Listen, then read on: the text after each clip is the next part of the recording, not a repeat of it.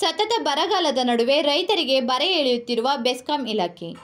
ಮಳೆಯ ಅಭಾವದಿಂದ ಬೆಳೆದ ಬೆಳೆಗೆ ನೀರು ಹಾಯಿಸಲು ಪರದಾಡುತ್ತಿರುವ ಅನ್ನದಾತ. ಸರ್ಕಾರ ರೈತರಿಗೆ ಸೂಕ್ತ ಸೌಲಭ್ಯ ಕಲ್ಪಿಸುವುದಾಗಿ ನೀಡಿದ ಭರವಸೆಗಳು ಭರವಸೆಗಳಾಗೆ ಉಳಿದಿವೆ.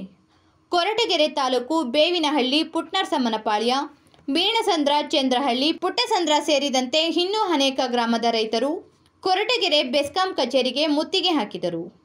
ಸತತ ಲೋಡ್ ಶೆಡ್ಡಿಂಗ್ನಿಂದ ಬೇಸತ್ತು ಕಳೆದ ಮೂರು ತಿಂಗಳಿನಿಂದ ದೂರು ನೀಡಿದರೂ ಯಾವುದೇ ಪ್ರಯೋಜನವಾಗದೆ ಕಚೇರಿಗೆ ಮುತ್ತಿಗೆ ಹಾಕಿದ ಘಟನೆ ನಡೆದಿದೆ.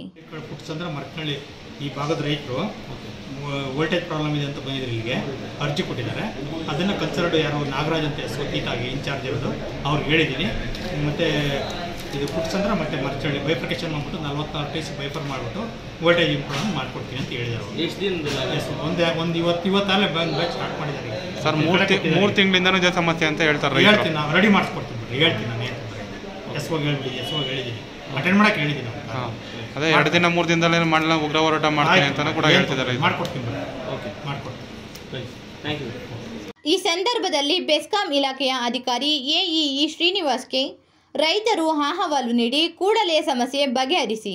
ಇಲ್ಲವಾದರೆ ಮುಂದಿನ ದಿನಗಳಲ್ಲಿ ಕಚೇರಿಗೆ ಬೀಗ ಹಾಕಿ ಪ್ರತಿಭಟನೆ ನಡೆಸಲಾಗುವುದು ಎಂದು ಎಚ್ಚರಿಕೆ ನೀಡಿದರು. ಕೊಡಗೇರಿ ತಾಲೂಕು. ಇಲ್ಲಿ ಏನಂದರೆ ಐ ಪಿ ಸೆಟ್ ನಂಬರ್ ಏನಿದೆಯಾ? ನೂರ ನಲವತ್ತು, ನೂರ ಐವತ್ತು ವೋಲ್ಟೇಜ್ ಇರುತ್ತೆ. ಡೈಲಿ ಮೂರು ಅವರು ಕರೆಂಟ್ ಕೊಡ್ತಾರೆ. ಅದರಲ್ಲಿ ಮೋಟ್ರು ಎತ್ಕೊಳ ಎತ್ಕೊಳಲ್ಲ ಅದರಿಂದ ಭಾಳ ಸಮಸ್ಯೆ ಆಗಿದೆ ರೈತರಿಗೆ. ಬೆಳೆ ಎಲ್ಲ ಒಣಗ್ತಾ ಇದೆ. ರೈತರಿಗೆ ಯಾರೂ ಸ್ಪಂದಿಸ್ತಿಲ್ಲ. ಅದಕ್ಕೆ ದುಡ್ನಳ್ಳಿ ಎರಪನಹಳ್ಳಿ ಕೆ ಜಿ ಬಿನಹಳ್ಳಿ ದುಡ್ನಳ್ಳಿ ಗ್ರಾಮಸ್ಥರು ಮಿಣಸಂದ್ರ ಚಂದ್ರಹಳ್ಳಿ ಪುಟ್ಸಂದ್ರದವ್ರು ಎಲ್ಲರೂ ನಾವು ಸ್ಟ್ರೈಕ್ ಮಾಡ್ತೀವಿ ಎಲ್ಲರೂ ಅದಕ್ಕೆ ಇವತ್ತು ಏನು ಹೇಳಿದರೆ ಇನ್ನು ಎರಡು ದಿನದೊಳಗಾಗಿ ಕ್ಲಿಯರ್ ಮಾಡ್ಕೊಡ್ತೀವಿ ಅಂತ ಹೇಳಿದಾರೆ ಅದು ಏನು ಕೇಳಬೇಕು ಕಾದು ನೋಡ್ಬೇಕು ಅವ್ರು ಏನು ಮಾಡ್ತಾರೋ ನೋಡ್ಬೇಕು. ಏನಿದೆ ಸಮಸ್ಯೆ ಇದೆ ಇದು?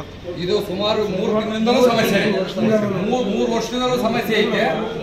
ಕರೆಂಟೇ ಇಲ್ಲ ಈ ವಾರದಿಂದ ಈ ತಿಂಗಳಿಂದಲೂ ಕರೆಂಟೇ ಇಲ್ಲ. ಎಷ್ಟು ಅವರ್ ಲೋಡ್ ಶೆಡಿಂಗ್ ಕೊಡ್ತಾ ಇದ್ದಾರೆ? ಎಷ್ಟು ಅವರು ಅಂತ ಹೇಳ್ತೀರಾ? ಕರೆಕ್ಟ್ ಆಗಿ ಹನ್ನೊಂದು ಗಂಟೆಗೆ ಒಂದು ದಿನ ಬಂದ್ರೆ ಇನ್ನೊಂದು ದಿನ ಹನ್ನೆರಡು ಗಂಟೆ. ಆಮೇಲೆ ಬಿಟ್ರೆ ಒಂದು ಗಂಟೆ. ಟೈಮಿಂಗ್ಸ್ ಇಲ್ಲ. ರೈತ ಕಾಯ್ದು ಕಾಯ್ದು ಅವ್ರು ಬಿಟ್ರೆ ಅದು ಬೆಳ್ಸ- ಬೆಳಿಗ್ಗೆ ಎಂಟಕ್ಕೆ ಚಾರ್ಜ್ ಆದ್ರೆ ಸಂಜೆ ಐದು ಅವ್ರು ಇರ್ತದೆ. ನಿರಂತರ- ಸಾವಿರ ಒಂಬತ್ತು ನಿರಂತರ voltage ಇರುತ್ತೆ ಲೋಡ್ ಶೆಡ್ಡಿಂಗ್ ಇರುತ್ತೆ ಕೊಳದ ಲೈನು. ಈ ತೀರ್ಥ ಅಷ್ಟು ವರಿಷ್ಠ ಆಮೇಲೆ ನೈಟ್ ಸಿಂಗಲ್ ಕೊಡ್ಬೇಕಾದ್ರೆ ಆರಿಂದ ಹನ್ನೆರಡು ಸಿಂಗಲ್ ಕೊಡ್ತಾರೆ ಕೊಳ ಇದರಿಂದ ಇದೇನು ಎಚ್ಚರಿಕೆ ಅಂದ್ರೆ ಅಧಿಕಾರಿಗಳು? ನಾವು ಮುಂದೆ ಉಗ್ರ ಹೋರಾಟ ಮಾಡಬೇಕಾಗುತ್ತೆ. ಮುಂದಿನ ಸೋಮವಾರ ನಾವು ಸ್ಟ್ರೈಕ್ ಮಾಡಿ ತಂಗಿ ಹೇಳ್ಬೇಕಾಗುತ್ತೆ ನಿರಂತರ ಕ್ಯಾಟನ್ ನೋಡ್ತೀವಿ? ಅದೇನ್ ಮಾಡ್ತಾರೋ ಮಾಡ್ಕೊಂಡಿ ಬೆಸ್ಕಾಂನವ್ರು ಹೆಂಗ್ ಅಂತಾರೆ ಏನು ಏನ್ ಪೂರ್ತಿ ಹಾಕಿದ್ರೆ ಎಂಜಾಯ್ ಮೇಲೆ ಹಾಕಿದ್ರೆ